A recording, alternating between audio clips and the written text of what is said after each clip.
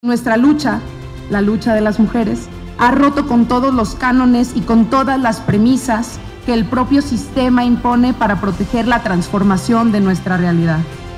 Eso es lo que hoy en día estamos haciendo las mujeres que luchamos en México y América Latina, ganando elecciones, tomando decisiones y cambiando el mundo. Ser feminista es asumir que las mujeres somos personas, ni nada más, ni nada menos. Y que una niña sepa que puede ser astronauta, que puede ser ingeniera, que puede ser abogada, que puede ser diputada, que puede ser senadora, que puede ser presidenta municipal, que puede ser gobernadora y también presidenta de la República.